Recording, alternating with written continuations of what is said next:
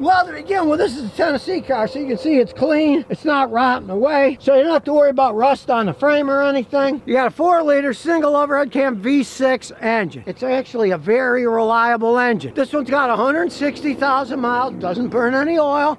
These are great engines because there's no turbos on them.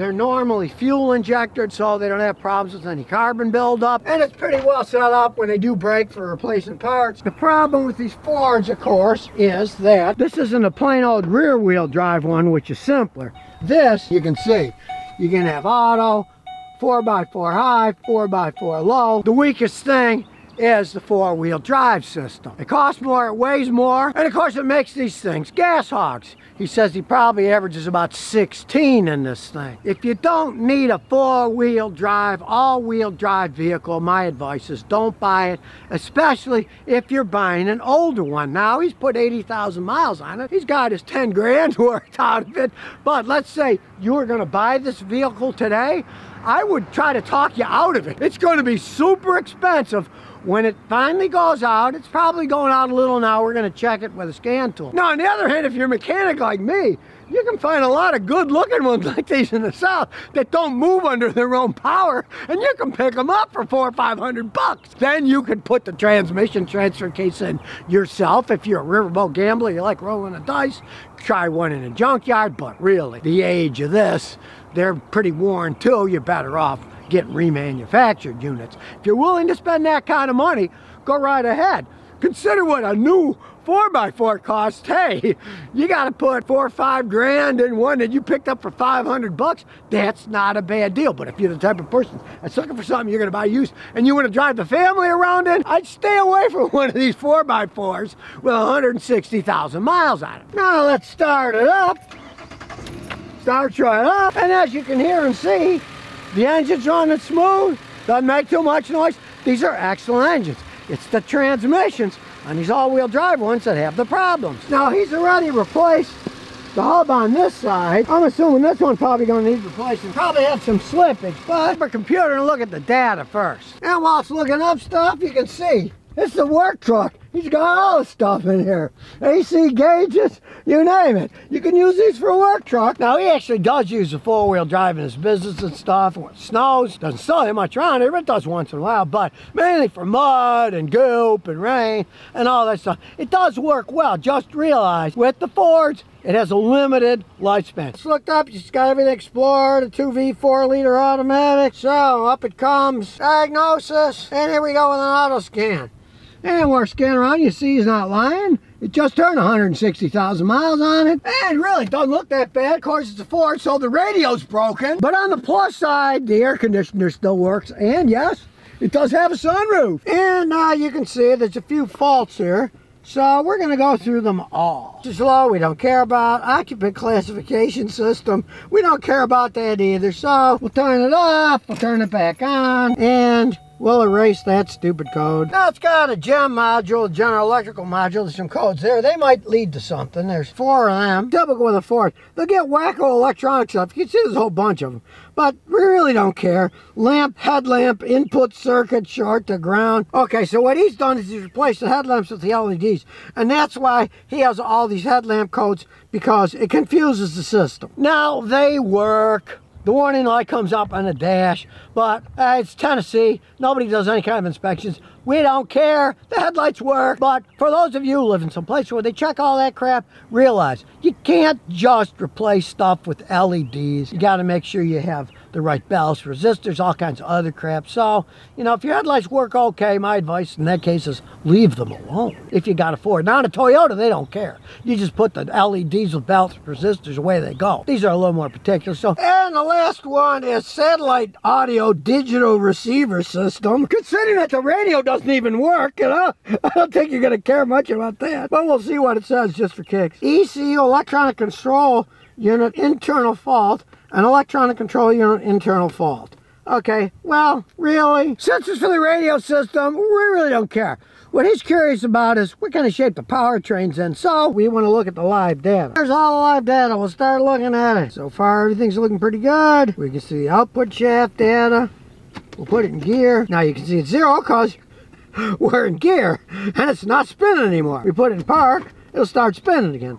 So we, we know that data is being applied and it, it's real data. You see there's no misfires. The fuel rail pressure, 370, 364, 368.45. So it's real close what it's commanding and what it's getting. So even the fuel pump's in excellent shape. Here's the fuel pump percentage. Okay, it's running at 24% now. If we rev it up, of course, it'll go higher. Injectors are fine. They got no faults. It's a 4-liter engine, and the mass airflow sensor is 3.95. 92, that's right spot on. That's working fine. The, the module's fine, 14.21. And you can see in the transmission, the output shaft speed failure mode. That has no faults. Pressure control modules on the transmission, no fault. Gives you their pressure. Shift solenoids on. It shows there's no faults with the shift solenoids either. And the torque converter unlocking due to slipping. There's no faults in that. So if it is slipping, it's not slipping bad. But what we're going to do here is we're going to put down torque converter data and we're going to record it. And here we go. Still handles decently. But he's worried about his transmission. So the liftgate jar is open because he got something out of the trunk and didn't close it. So you can't blame the truck on that, right? It's way too hot in here. The heat works. Turn that off. Now I can feel a slight slippage taking off there, but we'll go to our little drag strip. And here we go. Still got plenty of pulling power. The engine's working fine. The tranny isn't horrible. I can feel a little slippage, but let's see what it does when it's under a full load. There's nobody behind us, so here we go. Hey, it still takes off pretty good. Full load. Decent shift. Another decent shift, we'll let go. Downshifts very smoothly, no jerking yet. Now we'll see what passing gear goes like. We'll floor it.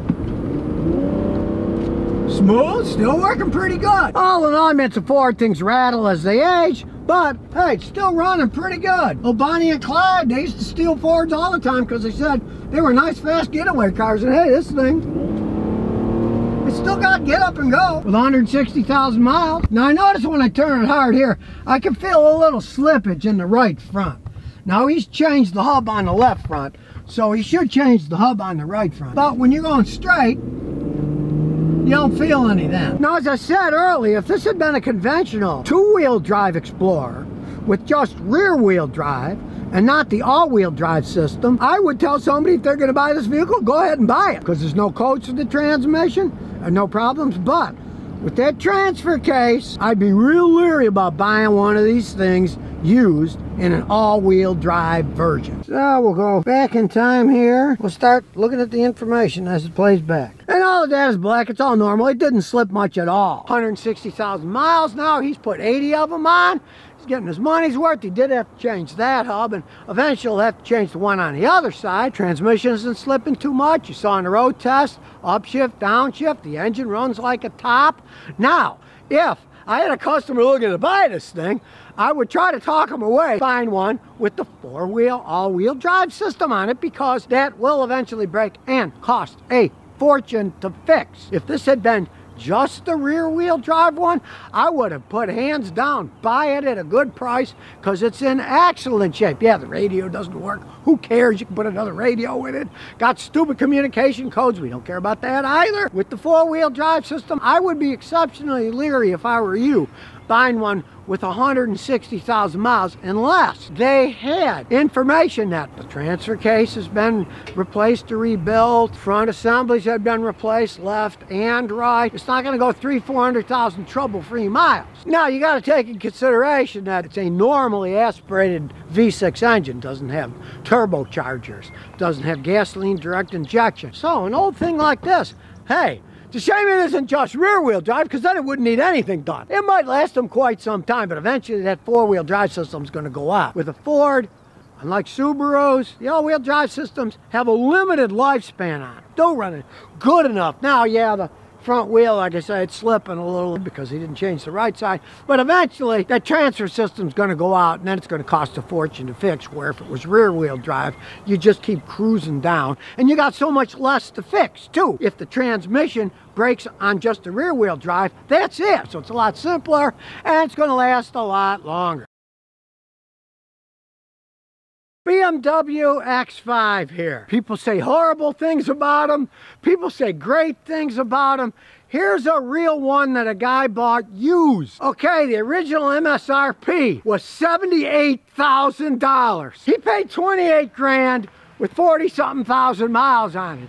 Now, this guy had worked on the assembly line at BMW, and now he does stuff like testing them out. He could take these things apart and put them back together again. That's one of the reasons he bought the car, and the other reason was he lives in South Carolina, where strangely enough, he found a British mechanic who works on these things, who's honest. Now, this may be the only BMW mechanic in the world who's honest, as far as I'm concerned. Now, you can see why people buy them, because they're beautiful SUVs.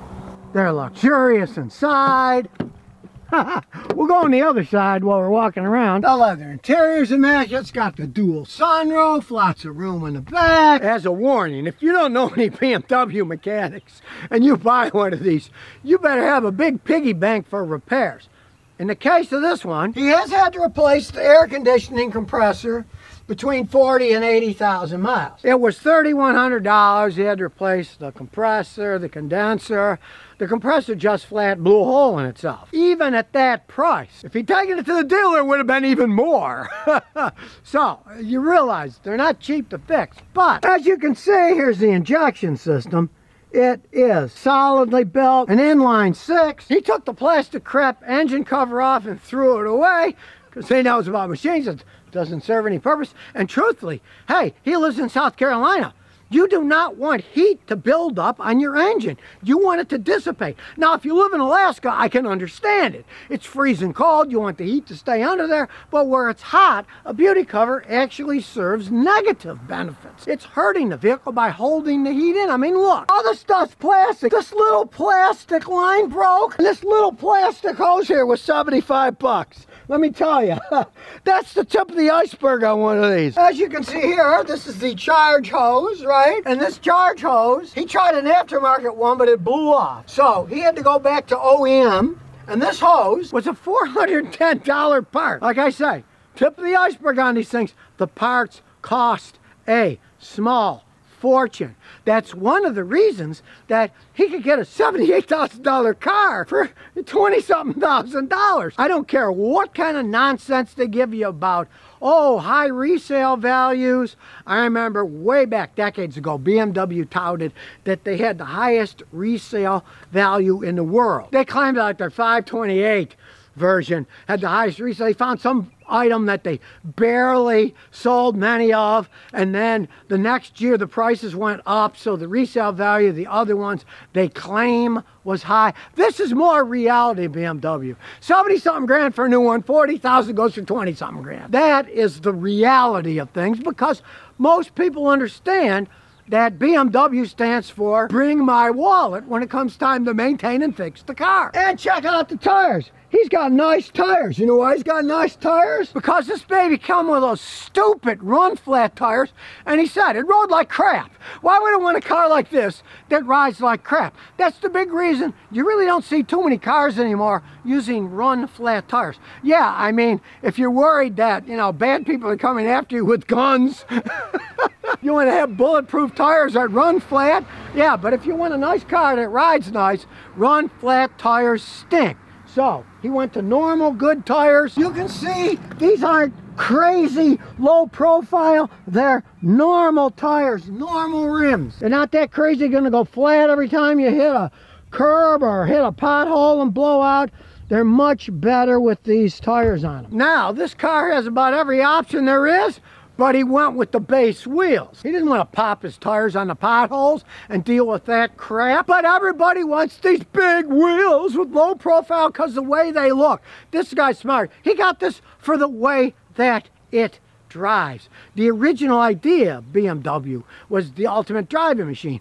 And way back in the 60s, hey, they were driving circles around American cars and they kept their driving up. It's just that they started going too much into stylistic crap that doesn't serve a purpose. We'll take a look inside, start her up. Whoa, look at that BMW, boy. That's a really cool little Merry Christmas and Happy New Year. Now you can hear this is one strong running engine. I'm gonna put my scan tool on it, but BMW and these six cylinder engines, they can run forever, smooth power delivery, nice smooth idle, A lot of companies have gone away from straight sixes, not BMW. These things are solid built. And this one has an excellent transmission. He says it shifts even better now than it did when he bought it years ago. They're solid built cars. It's the plastic and electronic stuff that'll drive you nuts. And as he just told me, you gotta maintain them. A lot of people don't maintain anything, okay? Let's say you're gonna buy a Toyota, right? Buy a Toyota. Change the oil every five, 10,000 miles. That's about it. First 100,000 miles, 10 years, that's probably all you're gonna have to do.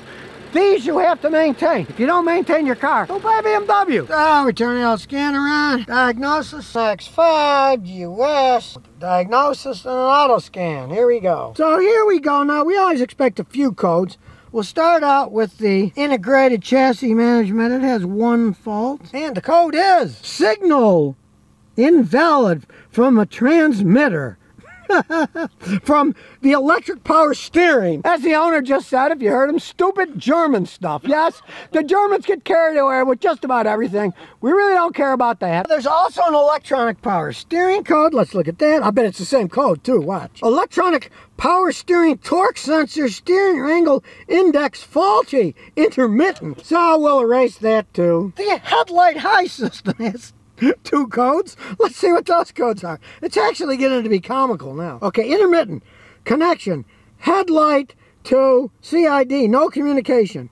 CID image data invalid or faulty. So we'll erase those two. So according to this, the adaptive headlights aren't adapting quite correctly, but he has no problem seeing when he's driving. Nobody's flashing their brights at him. So we'll see what else is on the computer. We have the integrated automatic heating and AC. Okay, that's got a fault too. Let's see what that fault is. All right, people. You're not gonna believe this. But this one is stratification flap motor, front right, locking has been detected. You're gonna find this on any BMW as it ages. You're gonna get wacky codes up the wazoo because of all the technology. You wouldn't believe how many separate modules are on this thing. And all it takes is one little glitch. Realize all these computer modules work on 5 volt reference signals. Not much power, and usually the amperage that goes through them is milliamps, thousands of an amp. Hardly any little glitch, and it'll do squirrely stuff like this. So we'll go back, we'll erase that too. Now all the codes are gone, except for this first one. The integrated chassis management, it erases, but it immediately comes back on. It'll be the same code for sure. Signal EPS is invalid, the transmitter for the electronic power steering. So according to this, it's not getting the actual position of the power steering. There's something wrong either in the wiring or the sensor itself. But like I say, he hasn't had any problem driving it around. So let's look at live data. Two live data, battery voltage is fine. Remember, these are color coded. If anything's weird, it's gonna be color coded and be off. But look at all this stuff. Ambient pressure, ambient temperature, throttle valve opening position, charging pressure. Oh, we're going to the Germans a plus here. The data's here on this machine. Do I have to get a pressure gauge and hook it up? Fuel, maybe it'll leak, start a fire. Then you got to buy new gaskets. This, at least you get a good machine like this, you can actually read it to see if it's working right or not. I'll give them an A plus for that one. and check this out. Variable camshaft timing exhaust position with engine running it's running. It is 4.06 4.22. It moves around a little. Kurbelwinkels means crank angle.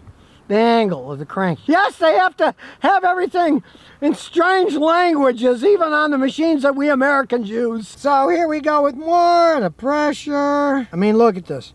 Running rough value, pretty close to zero. I mean, look, we're talking about you're off of 23 one hundredths of a percent it's practically nothing. Of course there's no misfires they're all zero. But the germans go further than misfires. They go to rough running values. Now that one was perfect for second it was 0.000 oh now it's 0.049 0.060 0.00 again. That's the germans for you in their search for perfection they find out well we can get close but we can't get the whole way. Good, but you can see.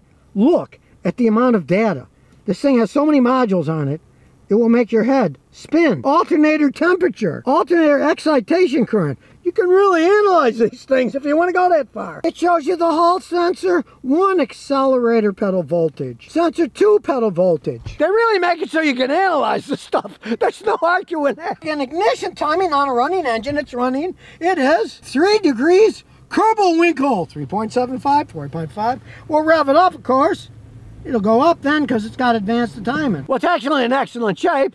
Kurbelwinkels or not, so let's take it for a spin. And of course, it's got a killer stereo. We got all kinds, look, wide angle, side angle, regular angle. Look, we can see everything. Look, here we go. We're moving. It can see we're moving. I love these cameras. Now this baby even has night vision on the front. Let's hope it doesn't have an MG42 under the hood too. and of course, as you can see here, it's got a nice heads-up display. Shows you how fast you're going and the speed limit where you are. It's 25 miles an hour here. Comes in real handy. And this is broad daylight. We're looking at this thing driving into the sun. This really works well. And now you can really see why people buy these things because they're fun to drive. They're very smooth. It's kind of like riding on a magic carpet ride, but hey, they handle like a dream. It's just the repairs that are nightmares. so here we go to our little drag strip. Nobody's coming, so, well, somebody's coming there. You take these things out in the country, out in the highway, that's what they're made for. And here we come to our little drag strip. Now realize, this is just a six-cylinder inline engine, but the Germans know how to make them. We'll check the shifting, and we'll check the engine. Ready, set, go! Smooth power delivery. Those shifts, you can barely feel it shifting. That's how they sell them. You get in one of these and drive it, you're going to think, oh man, I'm in love with the BMW. but it may be one of those love affairs that doesn't last over time. And after you divorce your fifth wife, you might wonder, gee, maybe I should stay away from those things. This has got 81,000 miles on it now, but hey, it really don't have anything wrong with it at all other than all that crazy German nonsense angle, this, that, and everything else. It steers fine. It drives fine. Look at that passing gear. You can pass people in this, and the engine just keeps ticking. They're pretty quiet inside. We'll come to a stop. The only thing I hear is the fan. It's on low. That's all I can hear is the fan on low. Smooth as can be. These six-cylinder engines, that's what they're made for. Smooth, power. Now, gas mileage, not so much. He gets around 20 miles a gallon, but this is an all-wheel drive vehicle, too. It's heavy, and it's fast. So, you know, you can't whine about 20 miles a gallon if you're going to drive something like this and have some fun in it. It's not made for gas mileage. That's one of the reasons that straight six engines really aren't that much around because they do use a bit more fuel than a V6 configuration will. And one of the reasons he went for the six-cylinder was because he didn't want the V8 because he knows about BMWs. He works for him. and he knows the valve stems on the V8s go bad. You got to pull the engines. It costs a lot of money. My grandson's got a V8 BMW, and yes, the valve seals are gone and it burns oil. They all do that. It's a known flaw. On these six-cylinder engines, no. They're strong engines. And listen to that sound. Yeah, it's a six-cylinder engine, but boy, it's got a nice hum to it. BMW X5 known as one of the most expensive vehicles in the world to take care of and maintain, but this guy maintains it and he has a English mechanic who knows how to work on them. You can see the technology from my fancy computer that's in these things. It's absolutely insane, but they are fun to drive. The engines are solid, the transmissions are solid. Just realize you got to maintain them and you're going to have to find yourself a mechanic like he did the English guy, who understands. Guy like me with equipment that can actually see what's going on, understand how to fix these things because they are so complex. Ford's 10-speed automatic transmission. This is a 2018 Mustang. It's had problems. It's had a lot of work done on it. So we're going to show you what's happened to this, give an overall view of the Mustang too, but mainly we're going to talk about the transmission. It's a 10-speed automatic transmission that Ford and GM worked on together. Then it was like cats and dogs. They went their separate ways soon after, but got 10 speeds and three of them are overdrives for better gas mileage. Those three overdrives, you can get good gas mileage if you drive conservatively. The best he can get in this is 27 on a highway. Okay, when I drive these things, I get like four miles a gallon because I drive them like a maniac. But for the overall car itself, he really has no complaints. He hasn't had any problems with it. It's got 57,000 miles on it, other than he didn't like the chrome, so he plastic dipped it. He's got to do that over. Plastic dip doesn't always last that long. But he's real happy with the car, except for the transmission. When he first got it, it was acting up, he took it in. They reflashed the ECM. They ended up changing the valve body. At 14,000 miles, they changed the torque converter. And then recently, they did some more work. So he's had the torque converter changed, the valve body. He's had it reflashed a bunch of times. He's gonna have me check it out with my machine. We're gonna take it for a good road test. But the problem is, this was one of their earlier versions of the 10-speed. I do have to say, I did one a few weeks ago on a year-old 10-speed automatic, and it didn't really have any problems. The only problems that you have to understand with that transmission is it is set up for gas mileage. You're not going to find too many fast Mustangs that get 27 miles a gallon, right? You got to drive them slow, but it can do that. The ones I drive never do, and the normal ones I used to drive, I'd be lucky if I got 14 on the highway driving conservatively. So you can get good gas mileage this way. So on the new ones, the one that I did a few weeks ago, they're better than these by far, but still, if you are in an economy mode, when you're taking off from slow, especially if you're at a stop sign, maybe you're turning right, going up a hill, sometimes they hunt for gears. If you have them in economy mode, if you switch over to sports mode, generally they work really well, especially the new ones. They've got that set up better. So if you really want to zoom around, put it in sports mode, and then go back to economy mode whenever you want it economy. That's why there's the different modes. It's for different driving styles, and if you don't understand what it's for, learn. In this case, it was the guy's wife. she didn't even know there were different modes. And I explained, hey, look, put in sports mode. They put in sports mode and then she didn't complain about lack of acceleration. You can bypass some of the problems by going into sports mode. Now, like I said, he's real happy with the rest of the car. The five liter engine's got plenty of pulling power, doesn't burn any oil. And like I say, if you drive it conservatively with the three overdrives, you can get as much as 27 miles a gallon, which is a miracle for a Mustang. So we're gonna look at the data and we're gonna take it for a spin. Got a lot of nice controls on your steering wheel. Nice little small steering wheel, black and chrome. Seats are nice and comfy, hold you in. It's a typical Mustang. There's some room in the back seat, not outrageous for long leg people, but they're comfortable enough if you're shorter. Killer sound system, speakers all over the place. In case you're interested in the transmission. So, first going to do a big scan, and so we shall analyze it, and then we're going to look at all the transmission data. As I said, okay, this thing got 57,838 miles on it, and we'll do a diagnosis. It's got a decent touch screen, works relatively fast. You just set your temperature, turn traction control off if you want.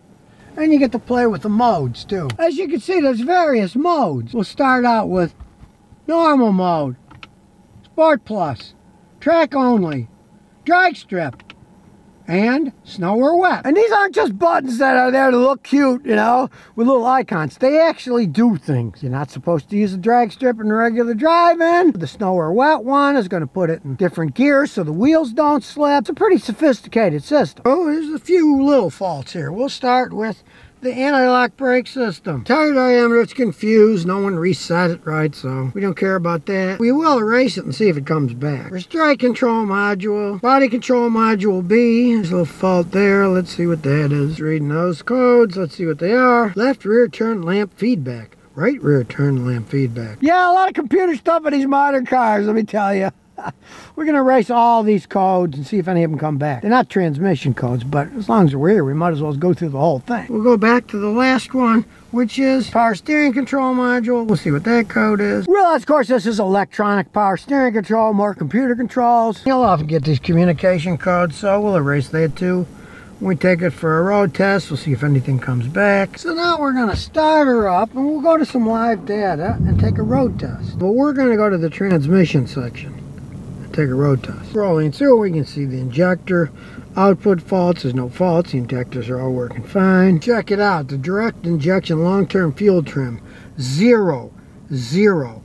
It is running perfectly. You can't run any better than zero. No wonder he's happy with the way it's running. It's running perfectly. Talk about that. Look at all the information you get on the generator. Current sensor, corrected value, frequency. Now, we all know the voltage is good. It's 14.44, 14.38, but they give all kinds of information. The injectors, no faults. We'll go through them all. Eight of them, seven, eight, and they're all no faults. Now, here's a bunch of pressure controlled solenoid information on the transmission that I'm going to watch while he drives the vehicle. Watch the torque converter, deceleration fuel shut off. That's how these things get good gas mileage. They are all controlled by computers. No faults in the torque converter clutch, giving you the solenoid pressure. See the torque converter slip actual. while you're driving. Now we're coming to a stop. As you can see, the faster you go, the slip definitely goes down. and it follows the desired versus the actual. Okay, now floor it. Here we go. We're taking off now.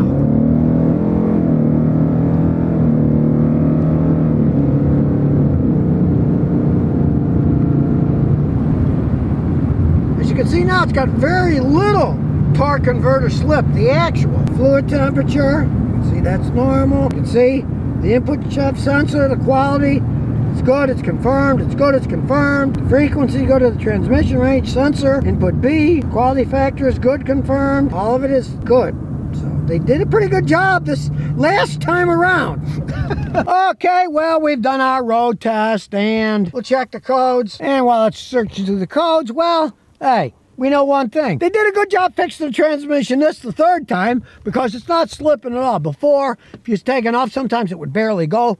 It's shifting perfectly fine, not any slippage. Before, when he slowed down, you'd feel the trannies shifting down, clunking down. That's all gone too. So this third time, let's hope it's a charm and they fixed it right. None of the codes came back. It's all green. Well, blue in this case. So they were just minor codes we don't give a crap about. Okay, so what have we learned? Well, let's hope the third time is a charm for them because the third time they worked on it with the torque converter change, changed valve bodies, and they've reprogrammed stuff, it is shifting like a dream now. These early 10 speeds, yes. They had problems, but like I said, the later ones don't seem to, and I'm assuming they're putting later software into these things. They figured out what software works best. Now, he's only got about 2,000 miles left on the warranty.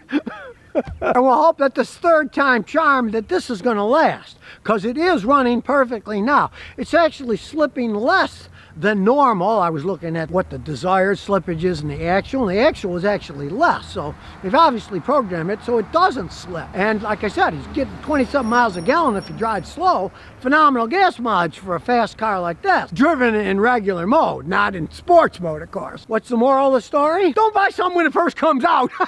but they seem to have fixed it. We'll see as time goes on. Believe me, if this thing acts up, he's going to tell me about it, and I'll tell you about it. Well, the third fix went into that last lasted 5,000 miles or whatever. We'll find out. But it's working perfectly fine now. And if there is a problem and he brings it back, my machine's going to show what's going on. So don't buy the first of anything out there. Only time will tell. But third time a charm for the guy. Let's hope so. So if you never want to miss another one of my new car repair videos, remember to ring that bell.